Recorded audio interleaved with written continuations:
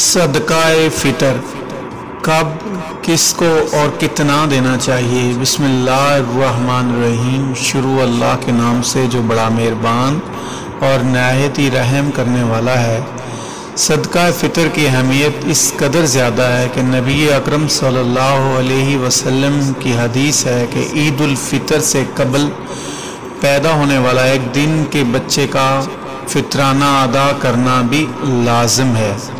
हज़रत सैदना इबन अब्बास रज़ी तना फरमाते हैं, रसूलुल्लाह सल्लल्लाहु अलैहि वसल्लम ने रोज़ादार को लोगों और बेहुदा बातों से पा करने और मसाकिन को खिलाना के लिए सदका फ़ितर मुकर फरमाया है।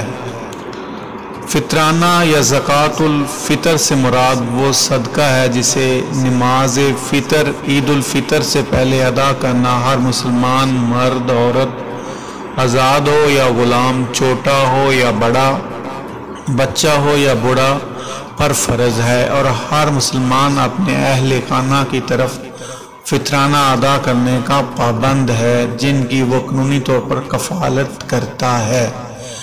रसूलुल्लाह सल्लल्लाहु अलैहि ने अरशाद फरमाया कि अल्लाह ताला ने फितराना ईद की नमाज़ से पहले इसलिए फ़र्ज़ किया है कि रोज़ादारों से रोज़े की हालत में जो गलतियाँ, बेहुदा और फहाश बातें हुई हों, सदका फ़ितर रोज़ेदार को इन गुनाहों से पाक कर देता है। सुबहान अल्लाह मुस्तक अफराद में फितराने की रकम तकसीम कर सकते हैं।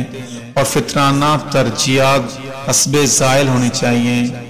जैसे कि गरीब रिश्तेदार, पड़ोसी, आम ज़रूरतमंद और ज़क़़त जमा करना, ज़क़़त जमा करने वाले वो मदरसे, इदारे जहाँ पर तलबा ज़र तालीम हो। याद रहे कि गैर मुस्लिम फतराने के मुस्तक नहीं है।